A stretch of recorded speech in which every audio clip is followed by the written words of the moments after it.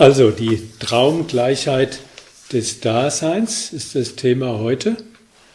Und das ist ja eines, das eher auf Durchschauung zielt, an ja, an tieferen Verständnis der Realität orientiert ist, also weniger jetzt unmittelbar praktische Bezüge hat. Tatsächlich ist es ja so, dass sich der eine oder andere gelegentlich mal fragt, was ist denn eigentlich Wirklichkeit? Oder wie wirklich ist denn Wirklichkeit?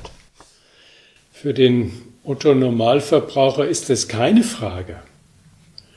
Der hat eher so ein naiv äh, sorgloses äh, Verhältnis zur Wirklichkeit. Ja, sie ist einfach da, sie ist gegeben, man sieht's doch. Aber nichtsdestotrotz gibt es für den einen oder anderen schon mal einen Zweifel. Und wenn man sich anschaut, so, dann geschichtlich, wie sich Menschen mit dem Thema beschäftigt haben, fällt sehr schnell auf, dass es immer Menschen gab, die nicht ganz so naiv an die Sachen herangegangen sind, sondern das eine oder andere in Zweifel gezogen haben. Ob denn das, was man erlebt, wirklich das ist, was es scheint. Und der spanische Dramatiker Calderón hat im glaub, 17. Jahrhundert schon das berühmte Stück geschrieben, Das Leben ein Traum. Und wenn wir an den großen Shakespeare denken, der hat ja auch in seinem Sturm den Vers mal geprägt, wir sind von solchem Stoff wie der von Träumen. Und das kleine Leben ist umfasst von Traum. Also da ist auch schon ein Hinweis in der Literatur. Und umso mehr im spirituellen Kontext, ich denke immer an den guten alten Chuang Tse, der mich mal sehr beeindruckt hat mit einem ja, kurzen Statement. Vor vielen Jahren habe ich das mal gehört, habe ich nie wieder vergessen. Der sagt nämlich, ich, Chuang Tse, träumte einst ein Schmetterling zu sein. Und dann erwachte ich. Und jetzt weiß ich nicht, bin ich Chuang Tse, der träumte ein Schmetterling zu sein, oder bin ich ein Schmetterling, der träumt, John C. zu sein. Damit wird unsere Problematik sehr deutlich, aber die Beispiele, die ich genannt habe, sind Beispiele dafür, dass man eher ahnt oder vermutet, dass da ein Problem sein könnte, es aber nicht wirklich tief fasst oder nicht wirklich erklären kann und nicht in eine ja, verständliche und nachvollziehbare Fassung bringen kann. Aber glücklicherweise kann man es, man kann die Frage, die ich angesprochen habe, verstehen und auch eine vernünftige Antwort geben. Und damit ist klar, worauf ich hinaus will, denn es gab ja einen großen Menschheitslehrer, der der Buddha genannt worden ist. Und Buddha ist ja nun nicht ein Eigenname, sondern ein Ehrentitel. Ein Titel, der etwas über diese Person sagt, eine ganz grundlegende Eigenschaft dieser Person charakterisiert, nämlich dass er ein Buddha ist, ein Erwachter ist, jemand, der aus dem Daseinstraum erwacht ist und in die unmittelbare Realität hineingefunden hat und diese Realität auch ungetrübt erlebt. Und als er noch kein Buddha war, wurde diese Person, dieser Mensch Bodhisattva genannt. Und ein Bodhisattva ist ein Wesen, das auf das Erwachen zugeht. Also ein Wesen, das noch nicht erwacht ist, es aber zu seinem Programm gemacht hat, dieses Erwachen einmal zu erleben. Und damit ist schon klar, dass der Name des Erwachten zugleich das Programm für das ist, was er lehrt. Die Traumhaftigkeit der Existenz ist, wenn man so will, ein Kernthema, ein Kernthema des Dhamma überhaupt. Allerdings, und das hat so ein bisschen einen kleinen Nachteil, man kann relativ schnell sagen, vom Verstand her, vom Intellektuell, ja, das wird wohl so sein. Aber dieses in sein Leben so hineinzunehmen, dass man es auch bei sich selbst erlebt und realisiert und die entsprechenden Konsequenzen daraus zieht, das ist eine ganz andere Sache. Und wenn man sich darauf einlässt, wird man merken, wie zäh der Traum ist, in dem wir uns befinden und wie schwierig es ist, sich aus diesem ja, Sumpf von Illusion zu befreien und herauszuarbeiten. Worum es heute Abend gehen soll, ist einmal hm, dieses Thema zu thematisieren, es anzusprechen, nicht jetzt ähm, systematisch und umfassend darzustellen, das wird gar nicht gehen an einem Abend, aber wenigstens es mal anzureißen, so eine Art Problembewusstsein zu gewinnen und damit auch wieder mal einen Anstoß zu geben, dass wir aus dieser unheilsamen Gewöhnung, an diese Traumgewöhnung herauskommen, dass wir uns umgewöhnen in Richtung von Realität und Wirklichkeit, wie sie ungetrübt beschrieben werden kann. Wir alle kennen ja einen Standardsatz, ob wir ihn uns so formuliert haben oder ob wir das mehr so vom Unbewussten her fühlen. Und dieser Satz lautet in etwa, ich habe das ja erlebt, also gibt es das. Ja? Also das ist eine Auffassung, die als selbstverständlich voraussetzt, dass die Sinne, die äußeren weltlichen Sinne, mit denen wir ausgestattet sind, dass die so etwas wie die Wirklichkeit abbilden oder wiedergeben. Also die Augen, die Ohren und die anderen Sinne liefern die Daten, die uns etwas über die Wirklichkeit sagen. Und hinter dieser naiven Auffassung steckt eine ganz schlichte materialistische Weltanschauung, die, wenn man so will, von der Objektivität der Welt ausgeht, die sagt, es gibt die Welt an sich, die tausend Dinge, mit denen wir konfrontiert sind, sind unabhängig von mir, irgendwo da in Raum und Zeit. Ob ich jetzt lebe oder tot bin, ob ich jetzt hier in diesem Raum sitze und mit euch rede oder tot umfalle, ist im Grunde völlig egal. Das, was wir Welt nennen, das macht seinen eigenen Stiefel weiter. Diese Dinge laufen weiter, die sind weiter da, unabhängig von uns persönlich. Anders formuliert, diese Auffassung von Wirklichkeit besteht darin, dass man glaubt, dass unser Geist in der Lage ist, so etwas wie ein Abbild von dem zu liefern, was da an sich ist. Wir geben durchaus zu, dass dieses Bild, das wir von der Realität haben, dass das mal eingeschränkt sein kann, dass das mal getrübt sein kann, dass wir da nicht immer auf der Höhe sind. Aber vom Prinzip wird unterstellt, da ist die sogenannte Realität, da draußen in Raum und Zeit. Und da sind wir und unser Geist bildet das ab. Er liefert sozusagen etwas äh, Geistiges, was dieser äußeren Realität entspricht. Und genau da, genau an dieser Stelle setzt der Buddha ein, wenn er dieses Ganze charakterisiert und sagt, das hat nichts mit Sein zu tun, das ist im Kern Schein. Und das ist eine der Hauptlehren, mit denen wir es zu tun haben, dass der Erwachte versucht, uns deutlich zu machen, zu unterscheiden, was scheinhaft ist und was wirklich substanzhaft ist an dieser Existenz. Und im Sutta Nipata am Anfang, da gibt es ein paar Verse, wo immer wieder wiederholt wird, in derselben Art und Weise, in derselben Formulierung wird immer wieder gesagt, das Ganze gilt nicht wirklich. Oder in einer anderen Übersetzung, erkennend von der Welt unwirklich ist all dies? Ja, das ist erstmal eine Behauptung. Die Frage ist, wie kann man dieser ja, These, ich nenne es zunächst mal nur These, denn näher kommen, weil die sogenannte Realität, die suggeriert dir doch was ganz anderes. Die suggeriert doch, hier bin ich, mich gibt's doch, guck mich doch an, ich bin doch da.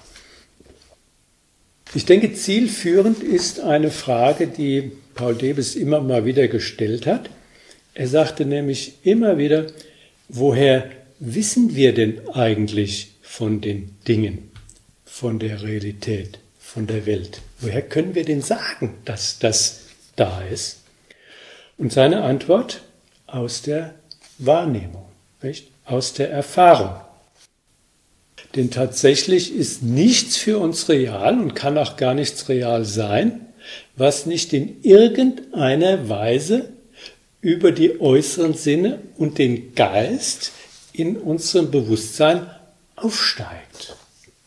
Da könnte man noch sagen, ja, das tut das Abbild doch auch, aber die Behauptung hier ist, es gibt nichts anderes als diese Bewusstseinsprozesse. Es gibt nichts anderes als das ständige Aufsteigen von Wahrnehmungen, von Erfahrungen über die fünf äußeren und den inneren, den geistigen Sinn.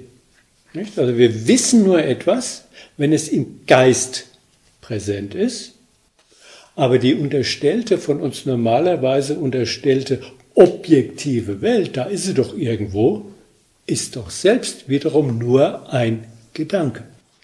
Das heißt, man kommt über die Tatsache, dass Realität nichts anderes ist als das, was erlebt ist, überhaupt nicht hinaus. Denn alles, was jenseits der Erfahrung, jenseits des Erlebens gedacht ist, ist ja selbst wieder innerhalb des Systems erleben, denken. Und was außerhalb dessen ist, ist für uns immer, wenn es es gibt oder nicht, ist völlig egal, ist für uns völlig unzugänglich und damit völlig irrelevant. Da will ich PD nochmal zitieren, weil er der, nicht der einzige, aber der, einer der wenigen ist, der auf diese Problematik aufmerksam gemacht hat. Er sagt, Wahrnehmung ist die Dimension der Existenz. Also Existenz ist nicht irgendeine materielle Realität, sondern Wahrnehmung ist die Dimension der Existenz. Und er hat früher oft auch das Wort von der Bewussthaftigkeit des Daseins gesprochen oder gebraucht. Nicht? Dasein ist Bewussthaftigkeit, was im Geist passiert.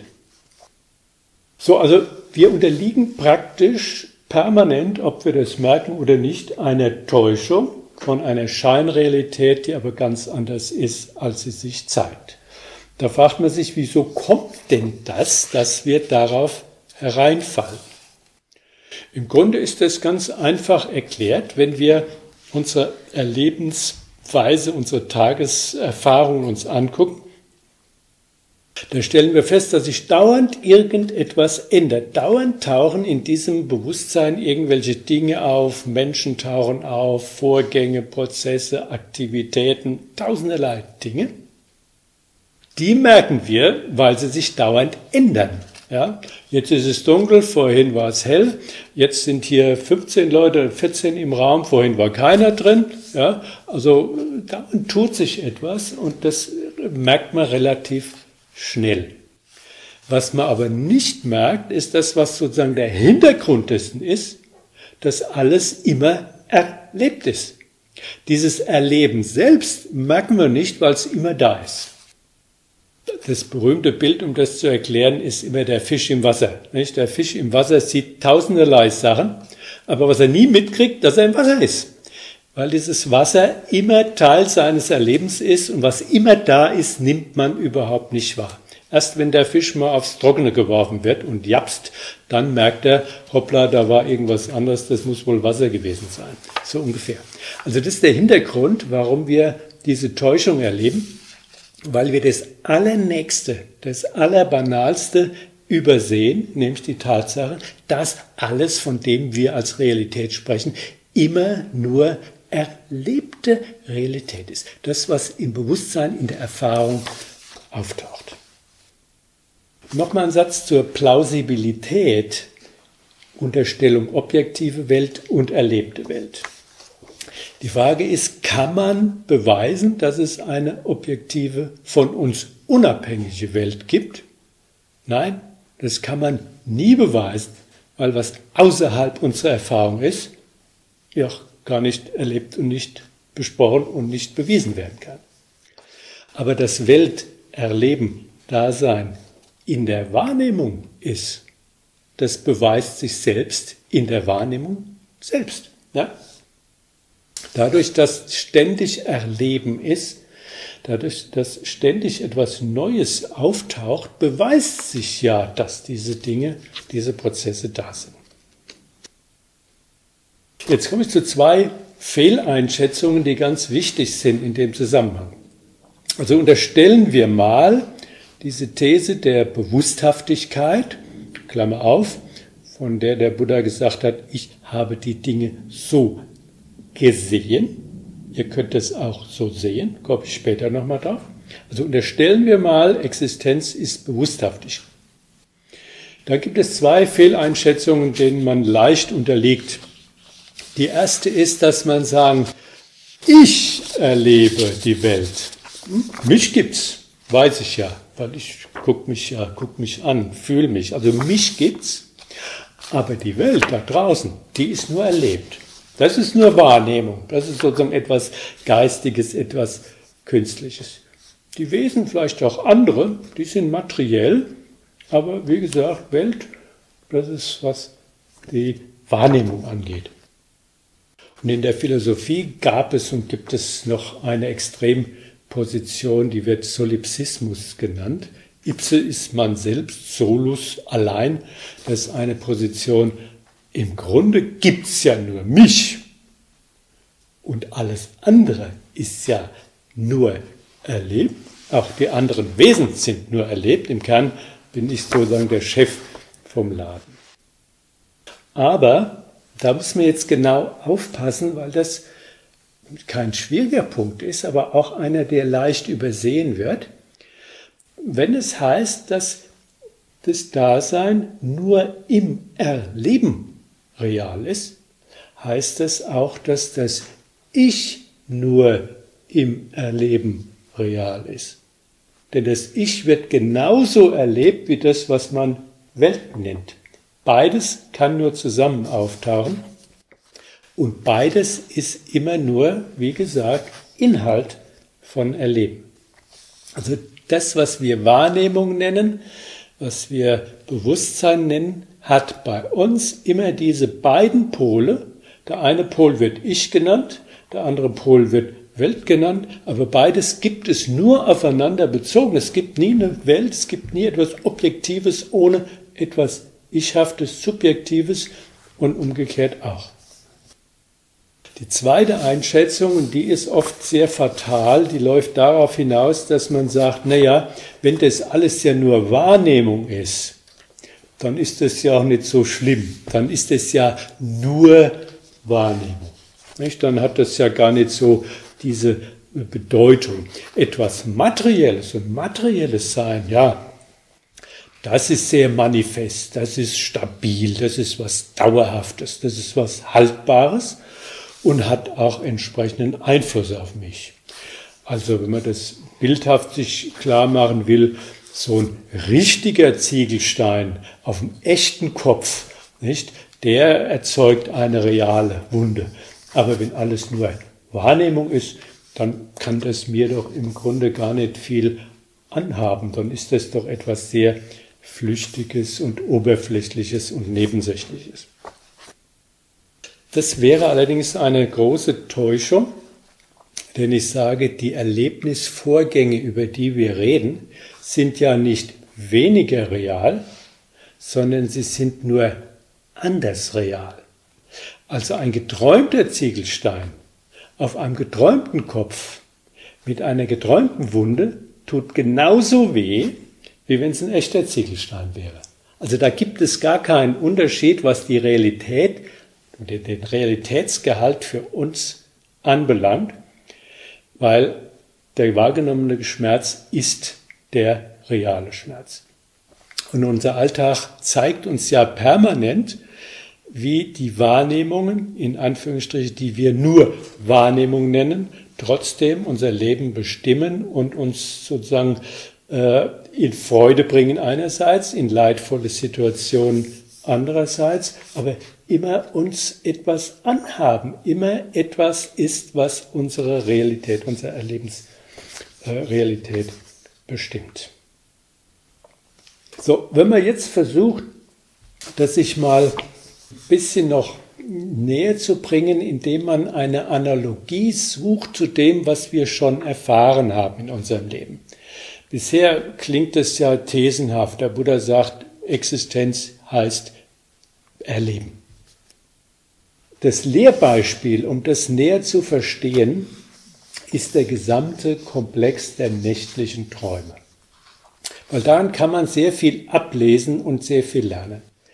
Denn in den nächtlichen Träumen passiert ja nichts anderes, als dass da ein Ich auftaucht in irgendeiner Situation und die jeweils auftauchenden Szenen werden im jeweiligen Fall als vollkommen authentisch erlebt. Was man im Traum erlebt, ist in diesem Moment absolut Realität.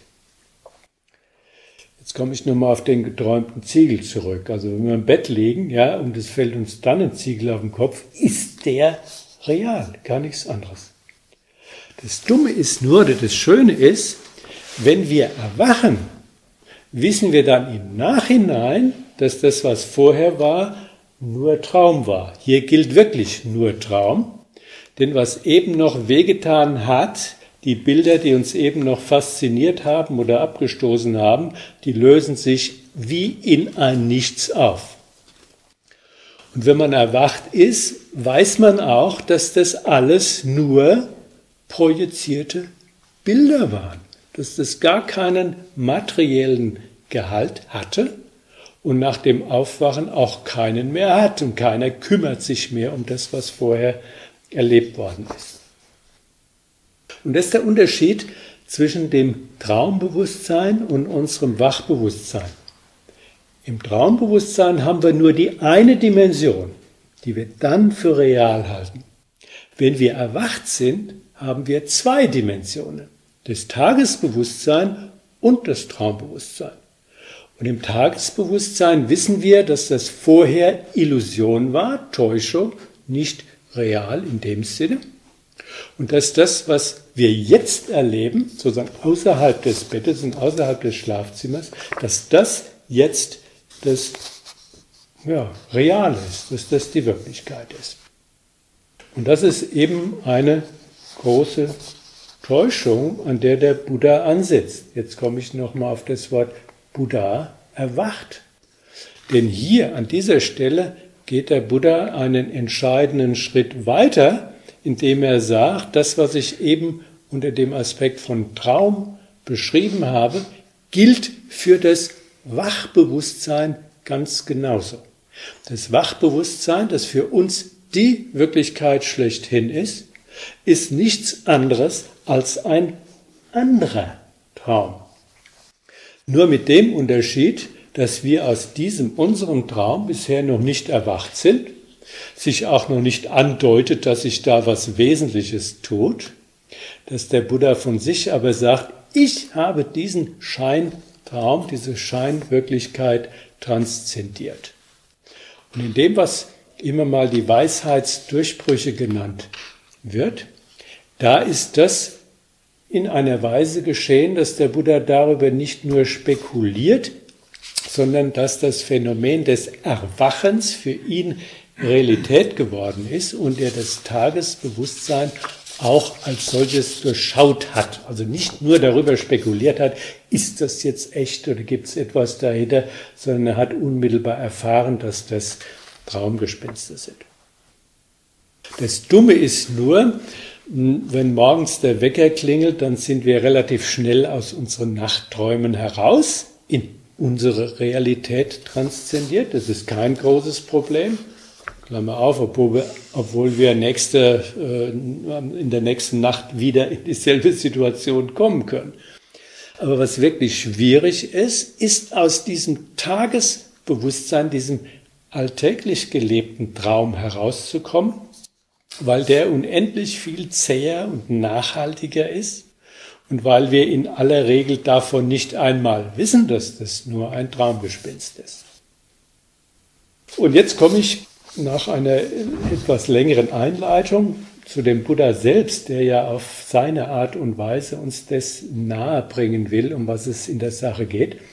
Und ich habe da ein paar ja, Passagen aus seinen Belehrungen herausgesucht und will die euch vortragen und dann ein bisschen kommentieren.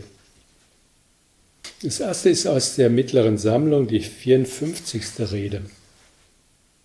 Da heißt es gleich wie etwa, wenn ein Mann ein Traumbild sehe, einen schönen Garten, einen freundlichen Hain, eine heitere Landschaft, einen lichten See und, wie der erwacht, nichts mehr erblickte. Ebenso nun auch bedenkt der edle Schüler bei sich, Traumbildern gleich sind die Sinnendinge, hat der Erhabene gesagt, voller Leiden, voller Enttäuschung, das Elend überwiegt. Dieses erste Bild ist sehr ja, zugeschnitten auf unsere Erlebniswelt. Wir leben ja in der Dimension der sinnlichen Erfahrung und auch des sinnlichen Genusses. Wir sind ja ständig konfrontiert mit den tausend Dingen, die die Welt liefert, von denen wir auch unsere Befriedigung und unser Heil suchen. Und wenn wir da die Dinge anschauen, die uns verlocken oder abstoßen, äh, dann sind die in dem Moment ja, völlig, völlig real.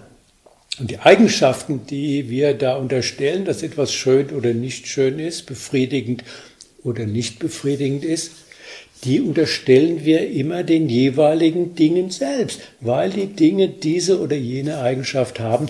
Deshalb tun sie uns wohl oder deshalb tun sie uns weniger wohl. Wir haben keinerlei Zweifel. Der normale Mensch hat keinerlei Zweifel am So-Sein dessen, was er um sich sieht. Er erkennt die Traumhaftigkeit nicht und hat auch von sich aus keine Möglichkeit, aus dieser Traumhaftigkeit zu erwachen. Es braucht sozusagen den Anstoß von außen. Das ist die Funktion eines Buddha, der uns rüttelt und schüttelt und den Wecker sozusagen uns hinstellt und uns aufrüttelt, sagt, Leute, ihr träumt, ihr wisst es nicht, wacht endlich auf. Und eure Sinnenwelt ist nichts anderes als ein Konglomerat von selbst zusammengebrauten Bildern, die ihr ernst nimmt und auf die hier hereinfällt. Und die Flüchtigkeit, das brauche ich nicht groß zu betonen, die Flüchtigkeit all der Phänomene, mit denen wir zu tun haben, ist ja mit ein Grund dafür, dass es uns nicht wirklich gut gehen kann. Weil das, was wir brauchen und notwendig haben und uns ersehnen und wünschen, zerrinnt ja irgendwann unter unseren Fingern, genauso wie wir selbst unsere Persönlichkeit, Körper, Geist, Gefühle, alles nur rieselnd ist, alles keinen Bestand hat und wirklich wie Traumbilder sich irgendwie auflösen. Hier ist von der Karma-Welt die Rede, von der Welt der Sinnensüchtigkeit, also unsere Welt. Da will ich nur eine Bemerkung noch machen, weil dieses Wort so eine Doppelbedeutung hat, die man schnell übersieht. Karma sind einerseits die Sinnendinge, das, was wir als Objekte erleben und wahrnehmen. Karma ist aber auf der anderen Seite auch unsere Süchtigkeit, unser Verlangen nach diesen Dingen. Und wichtig ist, dass beides nur zusammen existiert.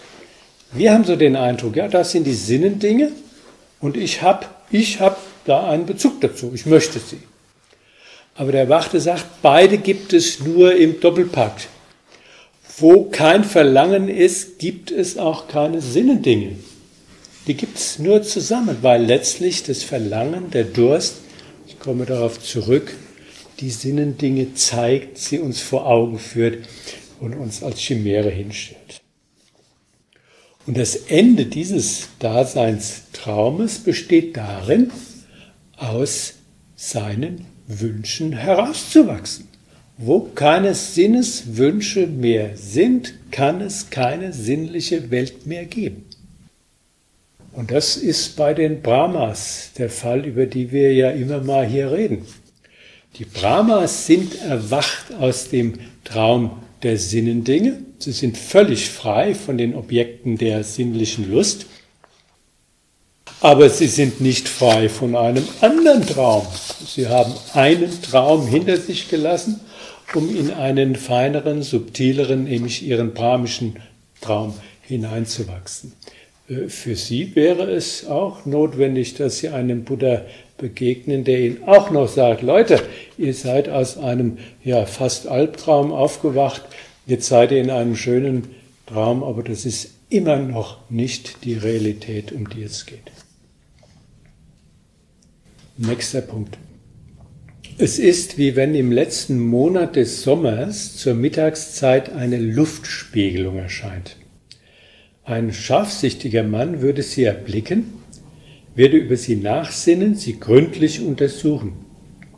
Ihm, der sie erblickt, über sie nachsinnt, sie gründlich untersucht, eben als leer würde sie da erscheinen, als hohl würde sie da erscheinen, als kernlos würde sie da erscheinen. Wie sollte auch in einer Luftspiegelung ein Kern sein? Ebenso auch, was es irgend an Wahrnehmung gibt, sei es vergangen, künftig oder gegenwärtig, eigen oder fremd, grob oder fein, gewöhnlich oder edel, fern oder nahe, die erblickte ein Mönch, sind über sie nach, untersucht sie gründlich, und ihm, der sie erblickt, über sie nachsinnt, sie gründlich untersucht, eben als leer würde sie da erscheinen, als hohl würde sie da erscheinen, als kernlos würde sie da erscheinen. Wie sollte auch in der Wahrnehmung ein Kern sein? Also hier macht der Erwachte besonders den Täuschungscharakter der Wahrnehmung deutlich. Täuschungscharakter heißt, man sieht etwas, was aber nicht an der Stelle ist, wo man es sieht und was nicht die Qualität hat, die man sieht. Und das Bild, das er gebraucht, ist das der Fata Morgana. Man weiß ja, dass man in der Wüste Oasen sieht mit Bäumen und Wasser und Häusern, die so einen realistischen Eindruck auf einen machen, dass man sicher ist, das Ganze ist da. Und trotzdem ist die Oase nicht an der Stelle, wo man sie sieht. Und sie hat auch nur einen Bildcharakter und nicht einen wirklichen materiellen Charakter. Und so sagt der Buddha, dass das, was wir Wahrnehmung nennen, dass das nur eine Spiegelung ist von etwas ganz anderem, dass das gar keine Eigenständigkeit, keine Eigenexistenz hat, nur ein sekundäres Phänomen ist, das ja vom Eigentlichen vorbeigeht. Und es ist klar, das kann man sich auch an diesem ja, Beispiel von der Wüste und der Fata Morgana verdeutlichen, dass wo man eine falsche Blickweise, eine falsche Sicht der Dinge hat, dadurch auch in die Irre gelegt wird. Nicht? Wer in der Wüste an die Fata Morgana glaubt, darauf zugeht, geht unter. Das muss man sich deutlich machen, dass das für unsere Lebenssituation gilt. Das ist jetzt kein intellektuelles Spiel, um das es hier geht, sondern der Erwachte sagt, wer an die Wahrnehmung, wer an die Fata Morgana dieser Wahrnehmung glaubt und sie ernst nimmt, der muss einfach untergehen.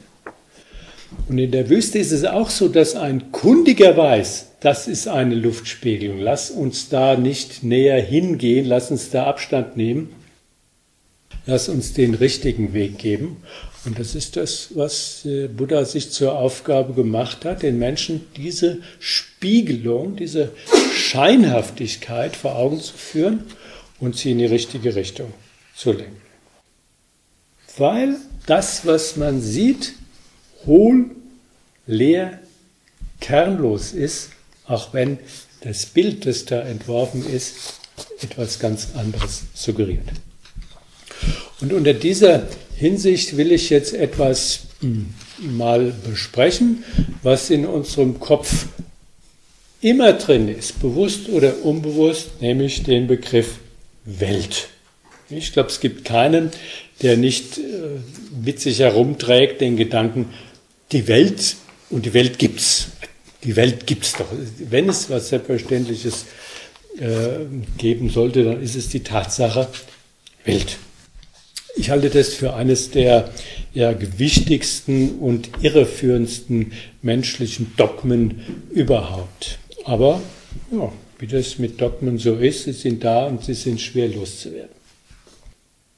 Bevor ich auf den Buddha zu sprechen komme, will ich mal den zunächst mm, üblichen, allerwelts üblichen Gebrauch des Wortes untersuchen, damit man den Gegensatz auch mal besser herausarbeiten kann. Ich habe dazu einfach, was ich gern mal mache, Wikipedia angeklickt und gesagt, was hält man denn heute von dem Begriff Welt? Das wird uns auch erklärt. Da heißt es einmal, Welt umfasst nicht Einzelerscheinungen, sondern eine Totalität. Allheit des vielen in einem. Hm? Das ist ein Aspekt. Der zweite Aspekt, Welt ist all das, was ist. Das muss man sich merken. Welt ist. So, jetzt lassen wir den Buddha mal sprechen. Und der Buddha hat auch gesprochen, weil schon damals die Frage nach diesem Thema aufgetaucht ist. Da gab es einen Mönch, der hieß Samiti. Der wollte genau das wissen. Ging zu dem Buddha hin und sagt, Welt, Welt sagt man, was ist nun, o oh Herr, unter dem Begriff Welt zu verstehen? Antwort des Buddha, bisschen anders vielleicht, als wir das erwarten normalerweise, wo es Auge, Ohr, Nase, Zunge, Körper, Geist gibt, wo es Formen, Töne, Düfte, Säfte, Gegenstände, Dinge gibt, wo es das sechsfache Bewusstsein gibt und die durch es bewusst werdenden Dinge da ist Welt. Und das ist unter diesen Begriffen zu verstehen.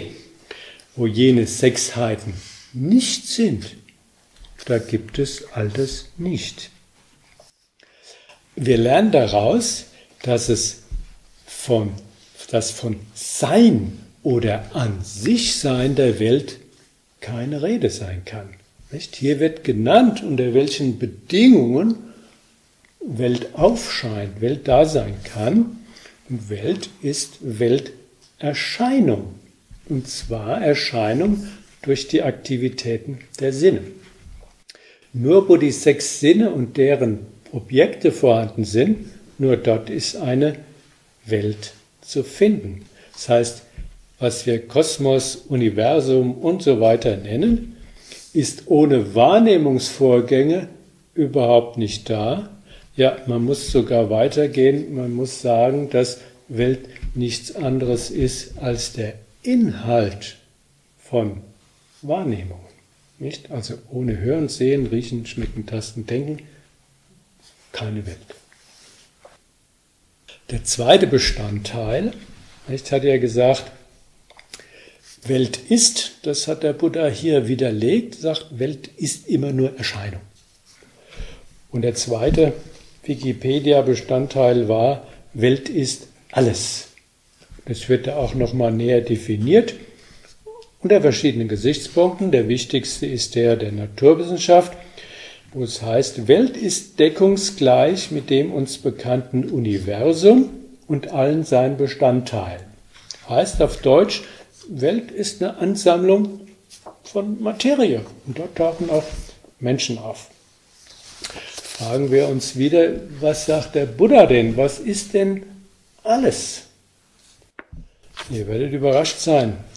Er sagt nämlich, alles will ich euch zeigen. Das höret wohl. Was ist also alles? Auge ist es und die Formen, das Ohr und die Töne, die Nase und die Düfte, die Zunge und die Säfte, der Körper und die Gegenstände, der Geist und die Dinge.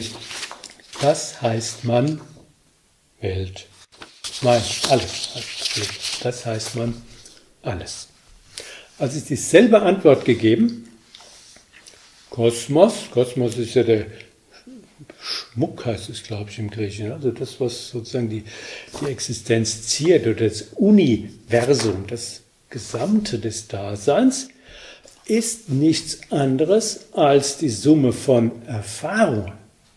Es ist schon eine Summe, eine Totalität, aber nicht von seienden materiellen Dingen, sondern die Summe von Erfahrung, also von Erlebnisinhalten. Und da wird uns doch völlig klar, dass jeder Mensch andere Erfahrungen hat. Jeder Mensch lebt, wenn man so will, in einer, in seiner Welt und dass für alle dieselbe, ja, alle gleiche äußere materielle, materielle Welt da sein sollte, ist eine völlige irrsinnige Konstruktion. Bleibt allerdings eine Frage, die ich die ganze Zeit sozusagen beiseite gelassen habe. Selbst wenn wir sagen, Welt ist jetzt nichts objektiv Materielles, sondern Welt ist ein Erfahrungsvorgang, ist Wahrnehmungsinhalt. Wo kommt das Ganze dann her? Warum taucht denn überhaupt was auf? Der normale Mensch sagt, ja, ich sehe die Dinge, weil sie da sind. Der braucht nicht fragen, wo kommen die Dinge her. Nun gut, entweder der Urknall hat sie geschaffen oder der liebe Gott hat sie geschaffen, aber ich sehe sie, ich nehme sie wahr, weil sie da sind. Wer nun sagt, dass Welterfahrungsinhalt ist, der muss ja erklären, wo kommt das Ganze denn her? Warum taucht denn dauernd irgendetwas auf? Fragen wir wieder den Buddha, wo kommt Welterfahrung her?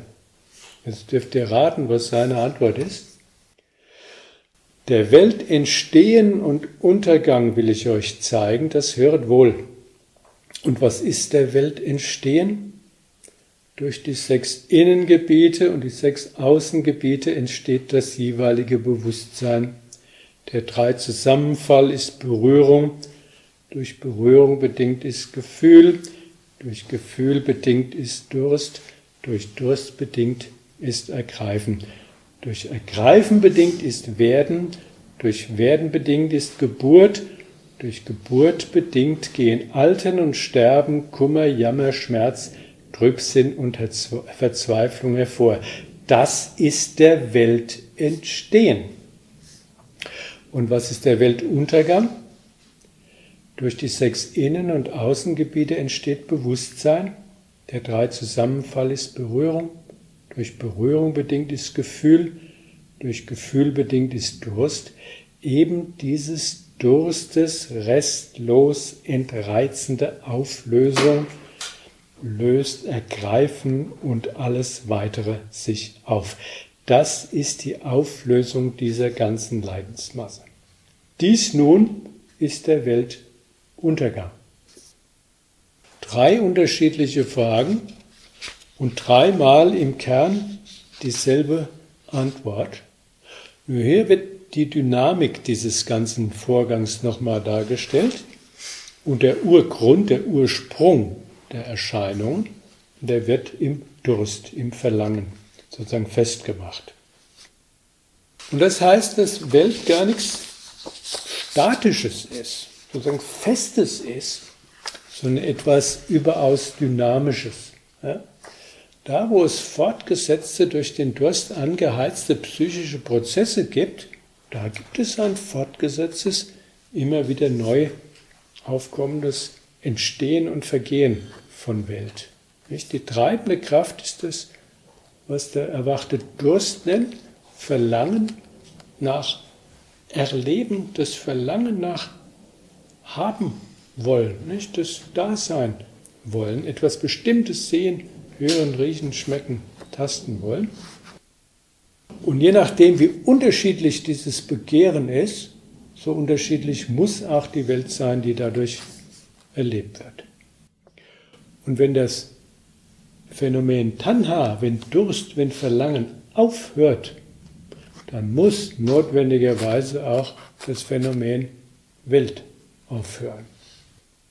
Und da merkt ihr schon, wo der Angelpunkt der gesamten Lehre des Buddha ist. Nicht?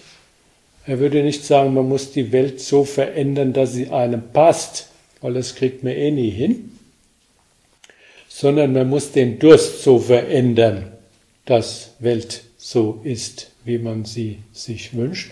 Und am besten, wenn man gar keinen Wunsch hat, wenn man gar kein Verlangen hat, braucht auch gar keine Welt mehr aufzutauchen. Nicht? Also wo, wo kein Hunger da ist, muss man auch nichts mehr essen. Ich will dieselbe Wahrheit vom Durst, von Tanha noch aus einer anderen Perspektive beleuchten, die uns vielleicht vertrauter ist noch.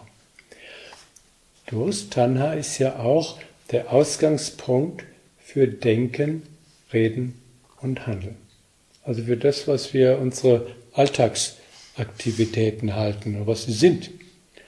Denn Denken, Reden und Handeln hat nichts anderes zum Ziel, als unsere Wünsche zu befriedigen. Das heißt, den Durst zu löschen, sonst bräuchte man gar nichts zu tun. Durst ist also nichts anderes als der Ausgangspunkt von Wirken. Und Wirken in Pali ist Karma. Und jetzt haben wir noch eine Erklärungsmöglichkeit, wie Welt zustande kommt. Welt kommt durch Karma zustande. Durch Wirken wird die Welt, durch Wirken werden Wesen, am Wirken hängen alle Menschen, sowie ein laufend Rad an seiner Achse. Also ich und Welt, nochmal aus einer anderen Perspektive gesagt, sind nicht an sich da, sondern sind Produkte, Produkte des eigenen Wirkens. Und da, wo es helles Wirken gibt, muss eine helle Welt erscheinen. Da, wo es ein dunkles Wirken gibt, muss eine dunkle Welt erscheinen. Wo das Wirken gemischt ist zwischen Gut und Übel, muss eine gemischte äußere Welt auftauchen. Und wo kein Wirken mehr ist, kann keine Welt auftauchen und schon gar nicht von alleine sein. Was ist eine Tat, die hell ist und helle Folgen hat? Nur mal ein Beispiel. Da begeht einer in Werken, in Worten und in Gedanken nicht leidbringende Handlungen. Hat er das getan, so gelangt er in einer nicht leidbringenden Welt wieder zum Dasein. Und ist er in einer nicht leidbringenden Welt wieder zum Dasein gelangt, begegnen ihm nicht leidbringende Berührungen. Sind ihm nicht leidbringende Berührungen begegnet, fühlt er ein nicht leidbringendes Gefühl, einzig freudvoll. Ist mal ausgeführt, wie Wirken, das von uns ausgeht, als Erleben, das uns widerfährt, das uns oder zu uns zurückkommt und entsprechende Gefühle auslöst, wie das aussieht. Und letzten Punkt noch, dass wir den Durst nochmal aus einer anderen Perspektive begreifen, denn Durst ist der springende Punkt in unserem Leben. Schließlich sage ich, oder sagt er, erwarte, dass Durst auch bewusst gewordene Dränge des Herzens sind. Ja? Das Mögen und Nichtmögen im Geist entspricht Anziehung und Abstoßung, Gier und Hass auf der Ebene des Herzens des Chitta. So kann man einerseits sagen, Welt ist das Ergebnis von Durst, von Verlangen, und man kann genauso sagen, Welt ist nichts anderes als der immer neue Entwurf des Chitta. Frau Wachte sagt ja, Gefühl und Wahrnehmung, das ist ja unser Welterleben, sind Aktivitäten des Herzens. Und an einer Stelle spricht der Buddha das Ganze nochmal bildhaft an, indem er von dem Malerherz spricht. Ein bekanntes Wort von ihm. Was macht ein Maler? Ein Maler hat vielfältige Utensilien, Farben, Pinsel und entwirft daraus immer neue Bilder. Aber die Bilder sind nur geschaffen aus den ja, Utensilien, die der Maler gebraucht. Und so ist es mit der sogenannten Welt. Sie ist auch nur ein Bild, das von den Utensilien des Chitta, des Herzens, neu entworfen wird.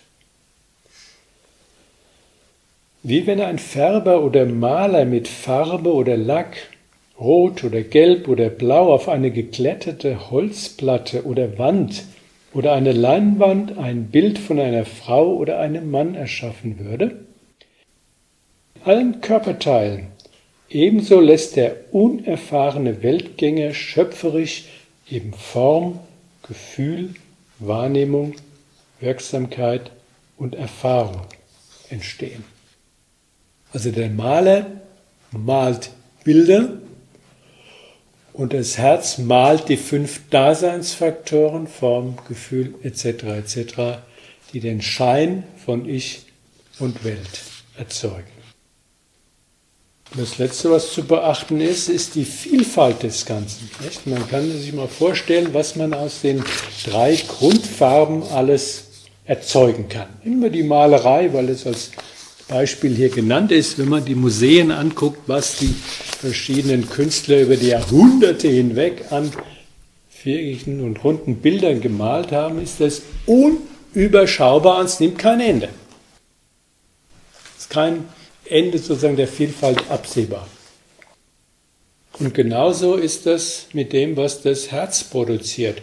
Das ist so vielfältig und so verschiedenartig, dass es da auch alle möglichen Varianten gibt oder mehr Varianten, als man sich ausdenken kann. Und das ist der Grund, warum der Erwachte sagt, was ist denn das Herz?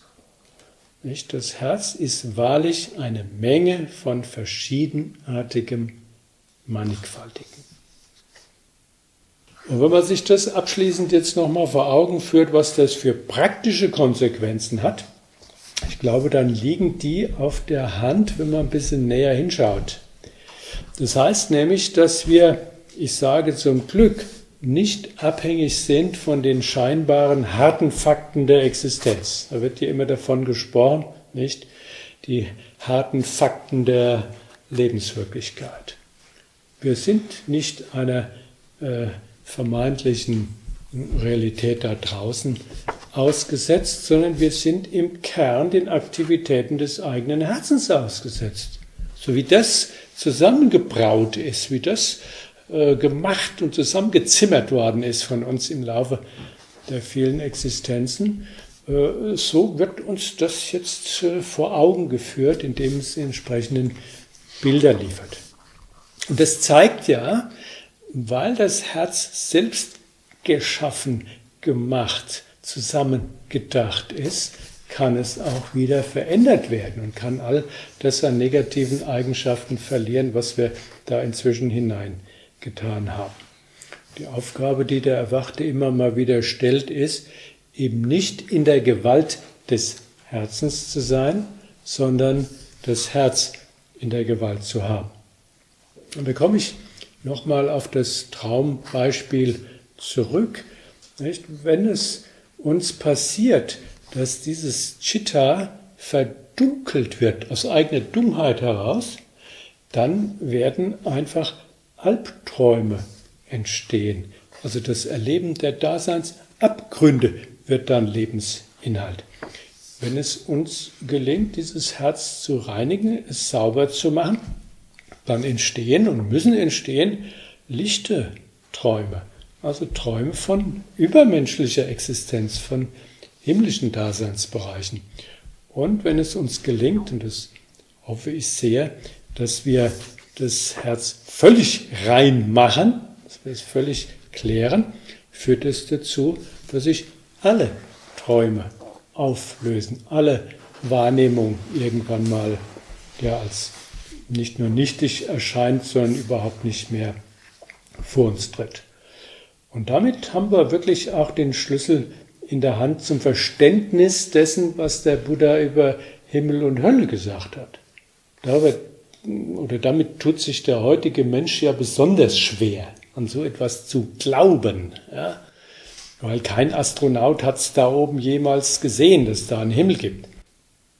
Wenn man aber versteht, dass Welt Welt nichts anderes ist als das Erleben aus den inneren dynamischen Kräften heraus, dann ist die himmlische Welt genauso real wie diese menschliche Welt und die untermenschliche Daseinssphäre ist genauso wirklich wie das, was wir erleben. Alles ist insofern real, als es Schöpfung, als es Bild des Herzens ist. Und noch ein letztes nur, um es auch anzusprechen, dass man es wenigstens mal gehört hat. Wenn man sich diese Zusammenhänge klar macht, wird auch deutlich, was es mit den ja, sogenannten magischen Fähigkeiten zu tun hat. Der normale Mensch kann damit nichts anfangen, weil es den Naturgesetzen widerspricht. Für den Buddha waren sogenannte magische Fähigkeiten etwas ganz Normales, weil sie aus einer anderen Art des Herzens hervorgehen, so äh, selbstverständlich hervorgehen wie die enge dürre, schmale Realität, mit der wir, mit der wir zu tun haben. Hm? Ein allerletztes Stichwort. Buddhisten wird ja immer mal vorgeworfen, dass sie Weltflüchtige sind. Nicht? Besonders die, die irgendwo im Himalaya untertauchen oder die ins Kloster gehen.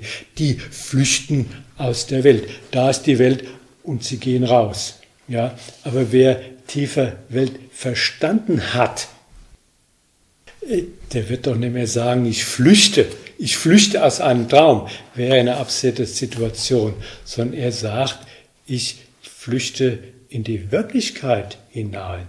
Ich flüchte aus dem Traum, in dem ich erwache. Und das ist, was der Buddha gelehrt hat, zu erwachen. Und das ist das Langfristziel, das wir uns gesetzt haben. Und der heutige Abend sollte dazu dienen, nochmal diese Gesamtsituation im Auge zu haben, dass wir nicht von den kleinen, kleinen Problemen unseres Lebens uns auffressen lassen, sondern auch mal die Grundproblematik unseres Daseins uns vor Augen führen. Das heißt nicht die Dinge irgendwie sortieren und klären und besser und schöner machen, sondern aus diesem Daseinstraum zu erwachen.